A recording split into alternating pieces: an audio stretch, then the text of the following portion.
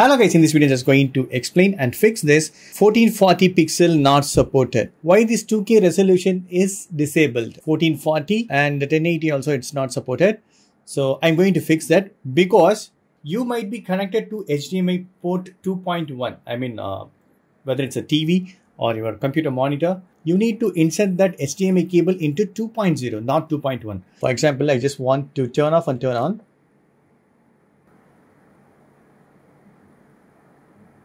Because I want to show in which HDMI port it is connected. It's connected in 2.1. Okay. That's why the resolution, right? This 2K is not supported. I mean 1440 pixel. So I'm going to fix that. Check your monitor or TV. So you need to unplug it. So already I have unplugged it. So we need to now insert to 2.0. Okay. Not 2.1. Now I'm going to insert that. So I have inserted to 2.0. So if you're using right Asus gaming monitor, you need to, you can overclock up to 120 FPS. So these are settings. So I, already I have done the overclocking up to 144 Hertz because uh, this monitor will support up to 140 FPS. Now I need to change the output. So here you can see this 2.1 and 2.0. Now I have connected through HDMI 4 version 2.0. So I'm going to select it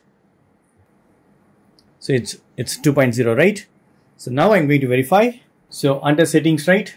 I need to go to screen and video. And now I'm going to tap this resolution. Super cool. Now it is enabled. So 1440 pixel is enabled now. So now you can use that. I'm going to set this 1440 pixel. With your HDMI device, you will test for 60 Hertz and 120 Hertz HDR. Super cool. So I'm going to give OK. The current screen is showing 60 Hz SDR. Can you see the screen? So I need to say yes. Super HDR also 60 Hz. So I need to say yes. The current screen is showing in 120 Hz HDR. So yes.